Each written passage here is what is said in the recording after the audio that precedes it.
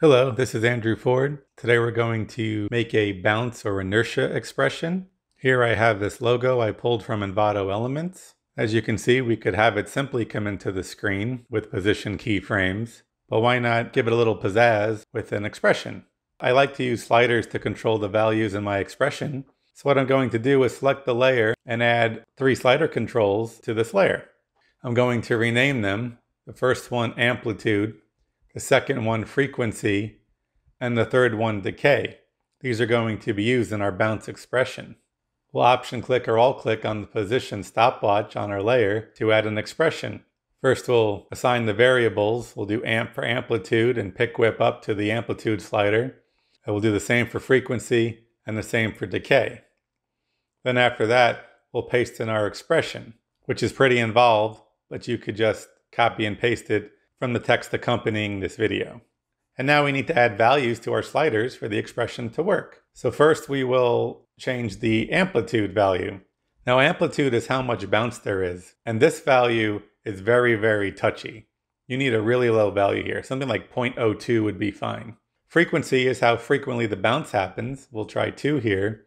And decay is kind of like friction or how long the bounce lasts. Uh, we'll try 4 here. A higher value makes the bounce last less.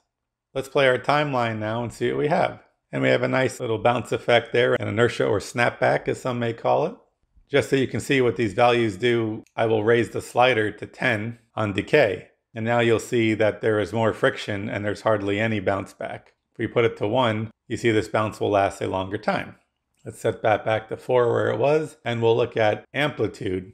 Remember, I said this is touchy, so even just making a value of 1, watch what happens. Your first bounce is off the screen. I recommend being very frugal with your amplitude value. We'll set that back to 0.02. Now frequency is how frequently the bounce happens. Let's try 10 and you'll see we get a lot of bounces in that period of time. Let's set that back to 2. And as we scrub through the animation, you can see that maybe we could add a little rotation as the logo is getting to the center. We can apply this bounce expression to other attributes. So let's copy it from the position attribute and paste it in rotation. And now we'll just add a couple keyframes. Let's uh, make it just rotate a little bit. Let's try 10 degrees here and then go back to zero. And now our inertia expression will be applied to rotation.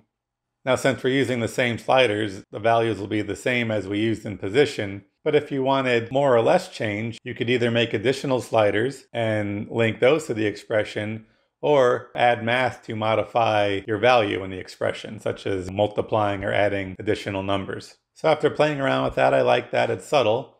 And we can also apply this to the scale attribute. So let's alt click on Windows or option click on a Mac, the scale stopwatch, and paste in our expression. We will again set keyframes. Let's make it scale 50 at the beginning. Just try 120 or so in the middle here. And we'll make it end at 100.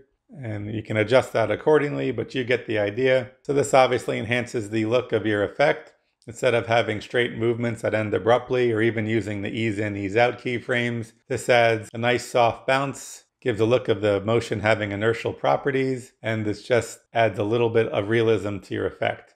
This is the same type of a principle used when animating a bouncing ball on the floor. So have fun being creative with this effect. Thank you.